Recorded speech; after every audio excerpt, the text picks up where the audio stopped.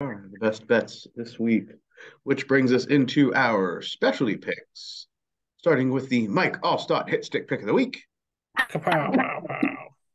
Whoa, that's Alex's sound effect, Jim. I know, but You That was really good actually together is what I was gonna say. okay? So uh, I'm you guys both have the Browns minus seven, and while it's not a best bet for me, I would be okay with jumping on that. Yeah, because the only other pet bet that I think there's a commonality is Alex and I. no, we have he and I have Tulane too. I would rather take the Browns just because I'm all about rooting for the Browns in this game. Wait, no, no, no. I'm sorry. I'll take it if you don't want me to. I'd rather take Tulane. In my mind, I was thinking I got to root against Deshaun Watson. I'm all about taking the Tulane game. If you want my opinion on it, Okay, Tulane. Hold please. Let me look at one thing real quick. Okay. We're playing UCF, correct? Yes. No, Central I Florida. understand I right Central Florida. UCF. that's UCF, buddy. Yes, you're right. Sorry, I thought you said USF. I don't know what I was saying. South Florida. UCF, right? Um, I understand this is a revenge game.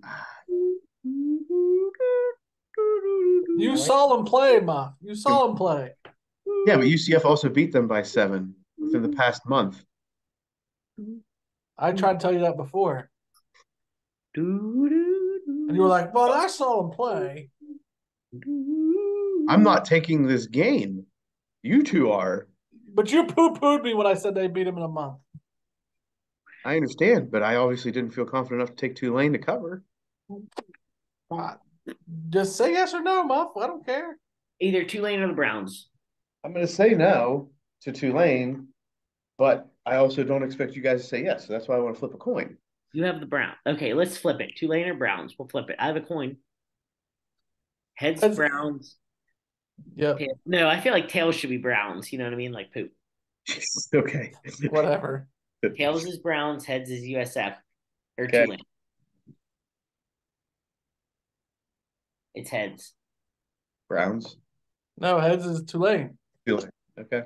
All right. It is. The coin has spoken. Win has spoken. The Mike Alstott hit stick pick of the week is Pow, pow, pow, pow, pow, pow, pow. Tulane over three and a half versus Central Florida in the AAC championship game. The Neil Brown risky pick of the week.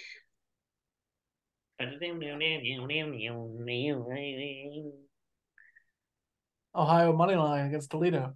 okay with that. That's the only one who has a underdog. I'm not taking Utah. It's directly against my best bet. I'll take the Dolphins money line versus 49ers. I like that too, but not as much as I like Ohio. More I was more of a sure I'll thing. Muff be the deciding factor between Dolphins and Ohio, or I can flip the coin again. Well, considering we got to put that in the parlay, That's what I'm saying. You I just pick. want that to be a pick. Like Muff, use your brain, because I would like the parlay to win this year. Hmm. I'm gonna go outside of anything we have here okay. and say, do we want to ride the Steelers money line two weeks in a row? Yes. That's not an underdog. Oh, I'm sorry, the Steelers are. That's not a money line dog. Look at you! Look at you pulling a Jim. Know, he did just totally pull a Jim. I apologize. You're He just correct. gymmed everywhere. Just Jim everywhere. What about the Jags money line against the Lions? You you you were poo pooing that, so that's why I'm curious why you're interested. Well, That's it's it's a conflict to Alex, but you're not in It the. is, You're but I'm in. not in. I'm not in the parlay. So if you want it, I won't bet it. No, no, Obviously. no, no. I will not. I will not do that. I feel you, like that's directly against the best bet, and you're right. That's a rule. This is this is this is a standing rule. We don't Yeah. we don't make this worse for the people. I, Um, I'm, what was the hold on? What was the alternate spread that you were tangling with, Jim? Because that's just almost like betting an underdog. Red. two and a half. Steelers minus two and a half. I feel like to make this a risky pick, we need to go like Steelers minus three and a half. Yeah, so they won by a touchdown. At that point, you might as well go Steelers minus No way. No, no, no, no, Alex, that's, that's crazy talk. Crazy talk. Uh, I would I would tangle with an alternate spread on this because that's like taking yeah, Because All you're right. shifting the odds in that favor. Steelers minus two and a half. Three and a half, I said if Three we were. Sure.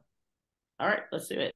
Okay, the Neil Brown risky pick of the week is the Steelers minus three and a half alternate spread over the Falcons.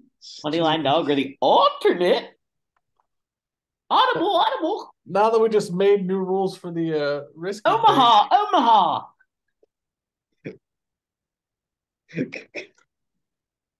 Go ahead, Chip. Good grief. All right, Charlie. Ugh. The Punisher parlay. Punisher. And I get to pick first. Is that what we're doing? Um, I it's either you or me. I just don't know who's first. Oh God, my bets are. I'll take the Vikings minus three against the Jets. All right, that's a good pick. I know, but it's the only one I'm like for this one. Muff. Oh, let's keep it. Let's keep it in the same game. Jets over. Jets Vikings over forty. Whoa. This is an interesting freaking Punisher. This might be the week. This is this is all the makings for a very interesting. It's all Sunday. Let's do it. I'm in.